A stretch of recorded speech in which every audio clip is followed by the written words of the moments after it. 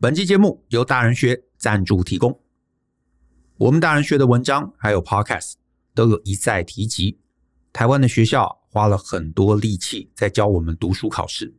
在学校，我们的生涯中学习了国文、英文、数学、历史、地理等等的知识，可是却很少思考，在离开学校之后，日子到底要怎么过。比方说，该怎么做决定，该怎么做选择。该怎么平衡全面的看待我们的人生？虽然人生很复杂，可能啊也没有一个策略可以完全适用，但是偏偏大部分人却连一套策略都没有，因此他们时常随波逐流，跟着大家人云亦云，而且呢还以为追随大家就是适合自己的人生规划。但是啊，其实并不是这样。我们大人学啊特别设计了一门线上课。叫做用经营公司的思维经营你的人生。在这堂课程中，将会回答一些很多人在生涯规划上面的迷思，比方像工作的时候起薪为何不重要？为何高度加班的地方，就算给你高薪，通常也不划算？为何直销不是经营事业，而是一个低维度的努力？为何政府组织还有学术单位，并不会带给你稳定？甚至还可能带来完全相反的结果。从小的储蓄还有存钱习惯为何会害了你？那些自觉我的兴趣是学习的人，为何其实很危险？以及最后，为何就算你胸无大志，你也必须让自己增长之后再来胸无大志？如果你觉得自己的人生有被以上这些问题困住，那么欢迎你来听这堂课，或许能够避免在人生上面。继续绕远路，欢迎透过节目下方的说明栏来观看这堂课更多的介绍。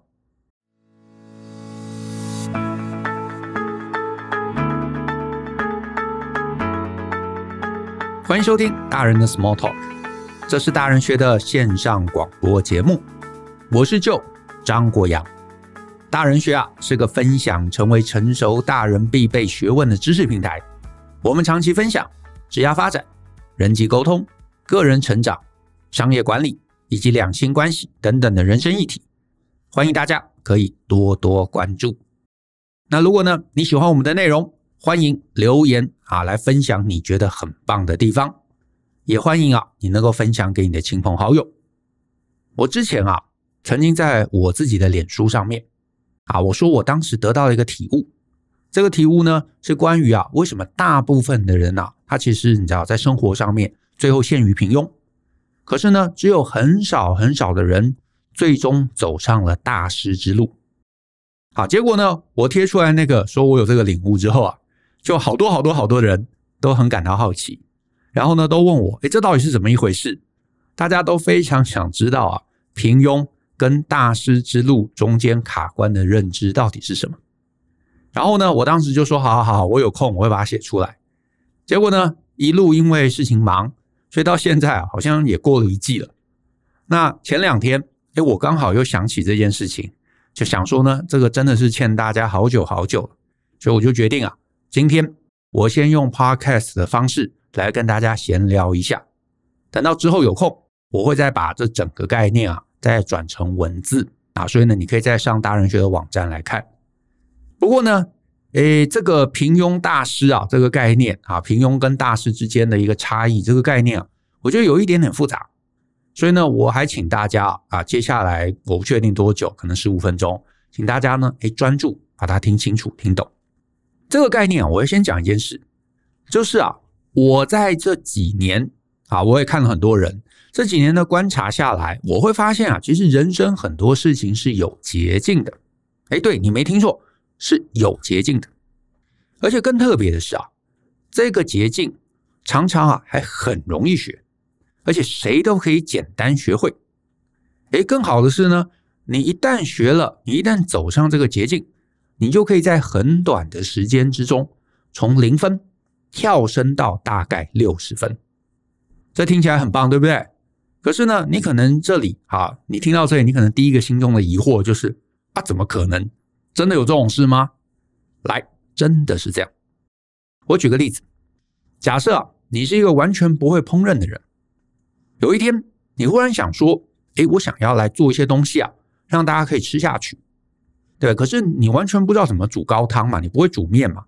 那你想说，可是我要你知道煮一个面，希望大家觉得好吃。这个时候，你有一个捷径啊，可以让你的汤很有滋味。哎，是什么？简单，就是去使用那个什么烹大师，对不对？或者就是放味精。哪怕你毫无料理的知识，你完全不会熬高汤，你不知道什么用什么蔬菜，用那个肉骨来提提出味道，没关系。你就每一道菜都放味精，你煮出来料理啊不会很好吃，可是至少可以入口。不会很好吃，不会大家吃完之后觉得哇，你真的是那个厨神，没有。可是至少大家吃下去没有问题。所以你看哦，你放了味精，你迅速从零分跳到六十分。这个方法非常的简单粗暴，而且人人都可以模仿，没有门槛，零门槛。对不对？你去全联买一盒味精，这需要什么门槛？没有门槛。也因为这个方法超级简单，所以呢，我想你可以想象嘛，今天如果有一个人，他的烹饪技术实在很差，啊，我们不要说零啦，就不是很好。可是呢，他某一天他想说，哎，我可以在我家隔壁啊摆个面摊，卖一些面来糊口。可是我的料理不怎么样，那我该怎么办？对吧？我怎么让我的这个料理啊，让我的餐点能够有味道呢？那很简单，就是去买味精，就是放味精。你可以发现这个门槛零嘛，所以它其实是一个阻力最小的路。阻力最小的路，一定就是大部分人趋之若鹜的路。而很多人一开始想的通常是：哎，这个我现在作弊一下，对不对？我去买味精。我先让自己的这个料理啊有六十分，等我有六十分，等到很多人来了，等到我赚了一些钱，我再慢慢改善，好，我再改进，然后呢，我就会逐步逐步走向大师之路。哎，可是各位，这就是陷阱。当你踏上了捷径之旅之后，你就会发现后面的道路会变得困难重重，因为真正的烹饪大师。他，你知道，懂得食物之间的一个差异，他可以引导出食材的味道，他可以透过时间的熬煮，他可以透过烹饪的方法，然后呢，啊，透过食材彼此之间的搭配，来引出食材的鲜味。大师跟一个踏上捷径平庸者的差异在于，大师他理解本质，他善用工具，他知道怎么透过时间淬炼，然后做出让别人感动。甚至感动到灵魂的料理。可是，如果你是一个料理新手，这些知识对你而言都是零嘛？而且，你如果因为贪快，你走上了这个放味精之路啊，你就不可能在这条捷径上学到什么时间淬炼啊？你淬炼什么？你什么都没有淬炼啊，对不对？你也不懂什么食材鲜味，因为你的食材鲜味，你的鲜味就是来自于味精，你根本没有做过任何的搭配。所以呢，其实你放了味精之后。你就踏上了一根跟大师在本质上面完全背离的路。对，虽然你的料理迅速可以让别人入口，可是呢，你如果想要成为料理大师，哎，对不起，你要回头，你得要放掉味精。可是呢，如果你本来就是零嘛，你放掉味精，不表示你又从六十分跌回零分，甚至跌回十分。一开始你会想放味精，就是因为你可能没有味觉想象嘛。你可能也不懂食材的特性嘛，也没有人教过你嘛，你自己也不想苦练嘛，也不想去搞懂各个烹饪的手法嘛，所以你选择放味精。那现在你说我要成为大师，所以我要放掉味精，我要从零开始。对不起，这多辛苦。所以你会发现，大部分走上捷径之路的人，他都会想要尝试：我能不能从现在的六十分，我能不能从现在我走捷径快速拿到的六十分，能够硬干？能够提升到一百分，可是你就发现，因为这两条路本质上面是矛盾的，所以呢，如果你不能从头来，你不能放掉现况，你不能归零，你就永远学不会本质的差异在哪里。你放不掉，你不能归零，或者你舍不得，觉得我好不容易有六十分了，所以你最后就会一直卡在六十分。所以，哎，有听懂这个概念吗？就是其实说起来很残酷。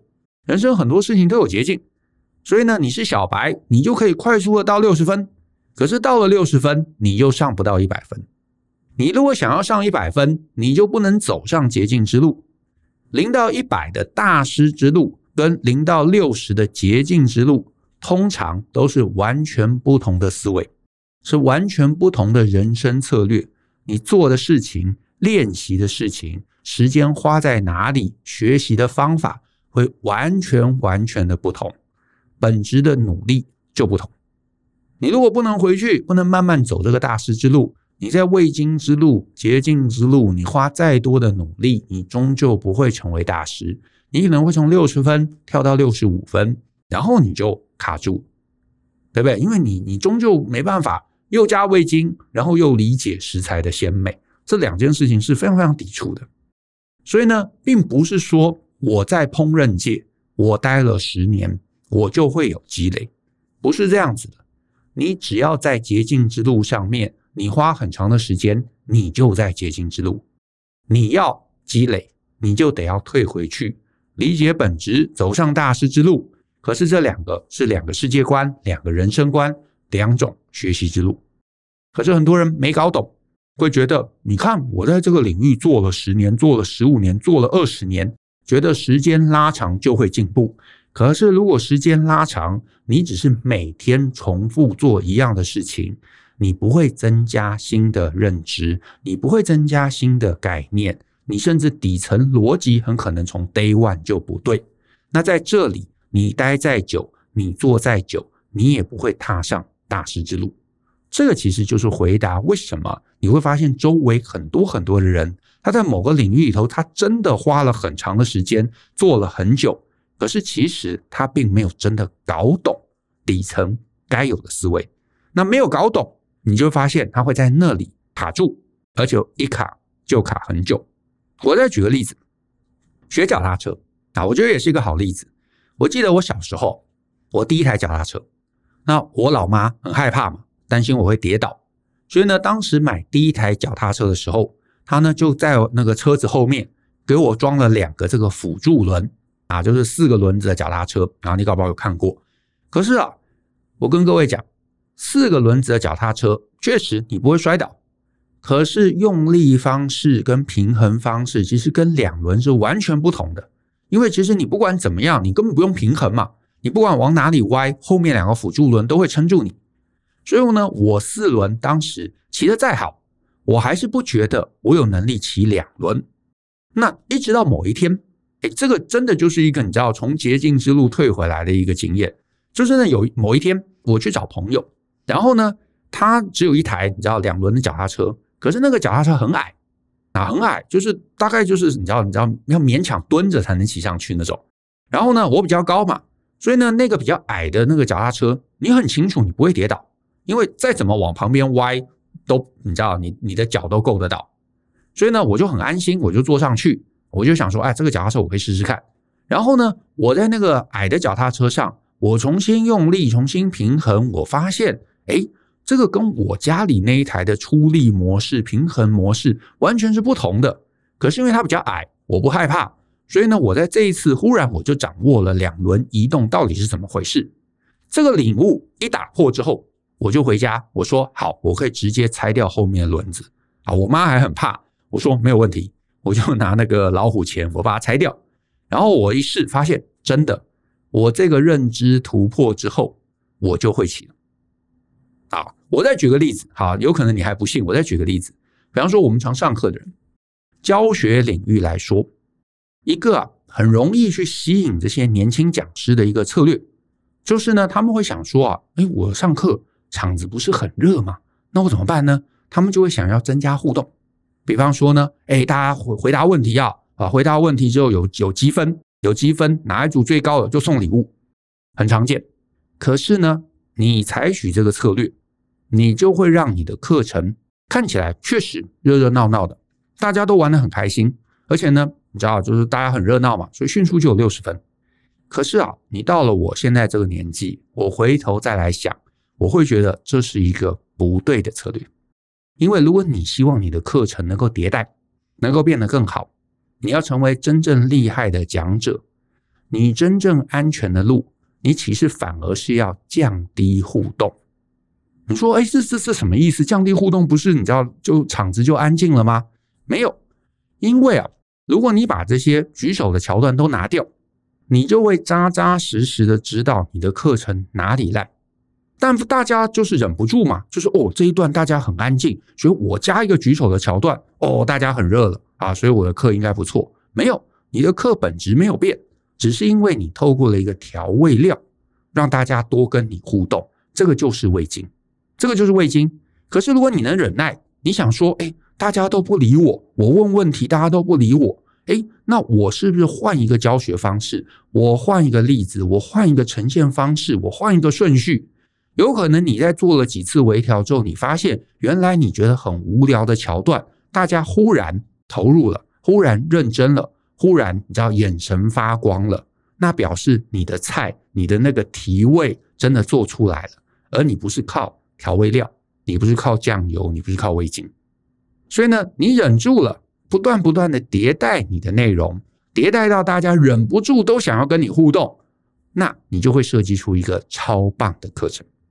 所以你你发现所有事情都有，你可以很快的做一点什么事情，然后让你自己现在做的事情提升到六十分。可是你会发现后面怎么努力，你始终进步缓慢。所以如果你发现你进步缓慢，你搞不好就要想想，我能不能退回原点，退回零。如果你真的想成为大师之路的话，一开始会辛苦，会寂寞，会觉得哇不知所措。可是啊，你好好的努力，你踏实的前进，你就会超过六十分，而且你最终有机会成为大师。好，那理解上面这个概念之后，我相信有些人心里可能还有一个疑问啊，我也想接续聊一下，就是有些人可能就会想说，哎，可是就啊，我现在也不学脚踏车啊，啊，我也没有要像你们一样开课啊，做课程啊，然后我也没有开面店，对不对？那这个呃平庸跟大师之路的概念，怎么样能够用在我自己的人生中呢？没错，我相信今天听众啊，很多人你知道已经会骑脚踏车了嘛，也没有要做课程，也没有要开面店。可是我觉得这个概念在所有人生的议题中都有，至少有一个东西我提醒一下，就是呢，我觉得有一个是大部分年轻的朋友啊，年轻朋友请务必要小心的捷径之路。这条捷径之路就叫做找个稳定的工作。我相信啊，你在学校，或你爸妈嘛，从小耳提面命，一定就跟你讲啊，好好念书，将来出来找个稳定的工作。那这个有可能甚至你知道根本就深入人心了。可是呢，你想要找这个捷径，你想要找个稳定的工作，你就会在很年轻的时候会想要去找铁饭碗，去找公家单位。去学校当老师，或者想要去找一个变动少的地方，因为我们都会直觉觉得嘛，我去了这样的一个地方之后，我的人生就稳固了。我前面啊多花一些心力去考一个什么证照，考一个什么公职，哎，我后面就再也不用害怕了。但其实完全不是这样，这个东西是未尽，因为大部分的人走上这条路之后，你反而会因为环境而让自己变得不稳定。比方说。你的周围会充斥了很多觉得人身安全，然后整天耍废的同事，对不对？或者你需要跟着一些没有理想，只是为了酬庸而进来工作的主管。长期而言，你自己很容易温水煮青蛙，而逐渐失去了你的竞争力。而且啊，这其中最关键的一个事情在于，当你找到了一个稳定的一个环境之后，你会想要维持那个稳定，很很可以理解嘛，对不对？因为你会想要维持那个稳定，你就会开始把重心、把人生的所有重心都放在我要去培养哪些技能，我才可以更稳定的待在这个环境。所以你的技能的培养会开始走偏，因为你会想要尽一切的力量待在那个环境中。如果你有参加之前就是用经营公司的思维经营你的人生这堂课啊，如果你有买这堂课的听众，你可能有印象，你可能有印象。我就有提到，你如果很早年你进了一个公部门，你可能就会很努力让自己成为所谓这个公文达人，对不对？如果你进了银行业，你可能致力就是把公司的这些什么管控流程啊、什么用印流程啊，你搞得一清二楚。结果过了十年下来，有可能你的公文确实变得超强，或者是啊，银行的一个什么管控作业、监管作业、什么硬件作业，你非常非常的专精。可是这些技能越来越强，同时也就代表你离不开那个环境，因为这些技能在那个环境中非常非常重要。可是也只在那个环境重要。如果呢，过个几年，你这个看似稳定的工作没了，啊或者因为大家都涌进来，变得人满为患，那早已啊习惯安逸的你，你这个时候就会发现，你没有办法去任何别的地方从头开始，因为你很可能没有从你知道 day one 就有意识的去具备那些真正在商业上面、真正在大环境上面放诸四海都有用的技能。而且更惨的地方在于，一个安逸的环境啊，其实竞争。往往比你想象的还激烈，而且很可能会变成那种内卷化的竞争，因为有可能你知道资源都是从外面来嘛，所以我们在里头的这种部门，我们就要去抢资源，我们要抢资源，我们要内斗，我们要排他，甚至很多你知道很惨烈的人事斗争，不一定会让你接下来的人生轻松。这也就是为什么你会发现你周围很多人是非常非常担心中年失业，因为他们。你知道，花了十年，花了二十年累积的技能，只能在某一个特定的环境或者特定的领域过得好，你无法去别的地方，那你就会害怕失去。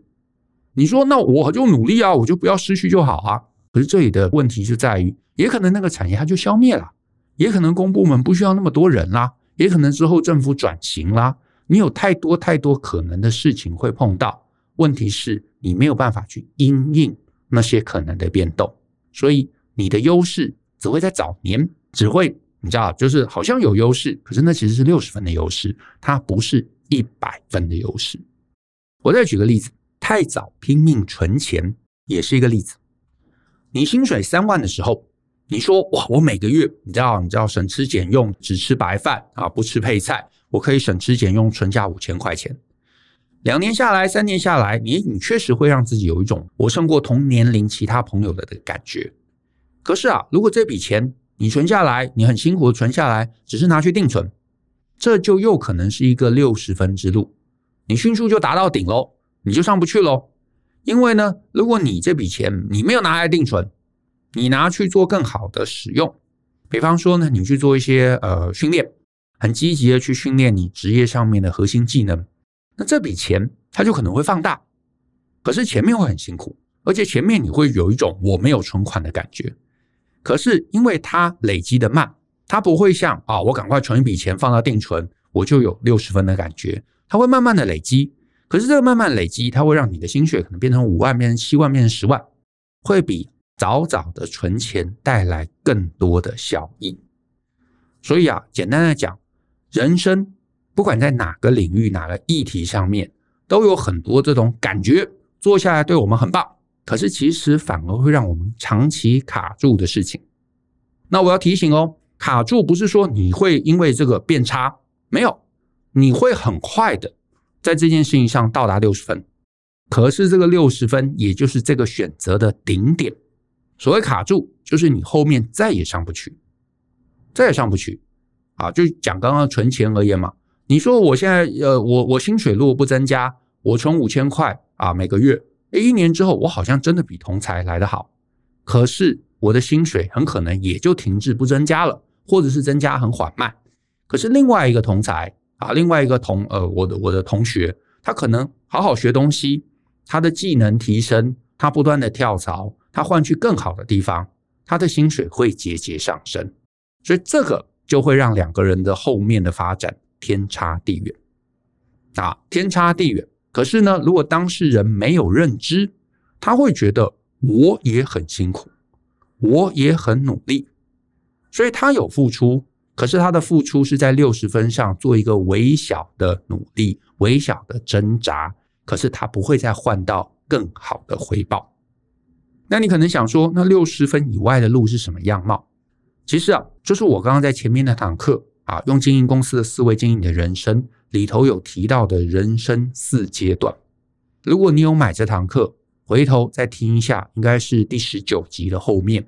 这四个阶段的认知是跳脱产业的、跳脱职能的，你如果扎实的搞懂自己在哪个阶段，以及每个阶段的需求跟挑战，然后你采取行动，你让自己不断的往后面阶段跨，那日子就一定会能走得稳当。好，那我也知道很多听众其实你没买那堂课，所以你也不用担心。之后我会请我们编辑把这一集的 podcast 转成文章啊，放在我们大人学的网站上面。到时候我也会把那张图附上，让大家可以参考。好，所以你到时候可以参考一下。可是如果你有时间，你有兴趣的话，我还是蛮建议你可以把这堂课买来听一下。你有一个完整的人生策略，我相信你会更有收获。啊，回到今天这一集，我简单的总结一下。其实你有兴趣，你可以认真去观察，你真的会发现人生很多很多领域啊，都有所谓快速六十分的捷径之路，而且我们大家一定都会被这个捷径之路给迷惑。只有非常非常少量的人，他会决定我不放味精，我要好好搞懂食材之间的关联，我要花时间熬煮高汤。啊！我要学各种烹饪的技巧，他会走出不一样的路。可是大部分的人不会，因为瞬间就六十分，谁不喜欢？大家都喜欢嘛，不用努力就可以到达某一个高度，谁不喜欢？大家都喜欢嘛。问题是这个捷径大家都能走，可是走下去之后，你跟别人其实差异就不大了。你会短期得到好处，可是时间拉长，因为你跟别人太像。你就很难明确的差异化，你就会发现你在那个领域最后就会变成内卷的战争。可是如果你能早期忍耐，你不要急着踏入捷径之旅，你累积实力，你前面你或许会输给别人，可是当你达到后面的阶段，当你有七十分，你有八十分，你有九十分的时候，你就会发现周围跟你相同的人非常非常的少，你就能够跳出竞争。你跟别人的差异就会变得非常明显，这个才是大师之旅，这个也才是可长可久的策略。那我们今天的节目就到这边，谢谢大家的收听。如果你喜欢我们的节目，欢迎分享给亲朋好友，尤其欢迎大家在节目下面留言给我们一些鼓励。我们一起相信、思考、勇于改变，一起学习种种能成为成熟大人的必备学问吧。那我们下次见喽，拜拜。